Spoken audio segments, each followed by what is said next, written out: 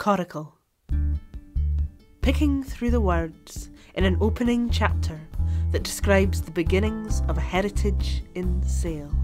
The raw materials, structure that moves with water, lines that cut and slip and hold. Open and exposed, reeling.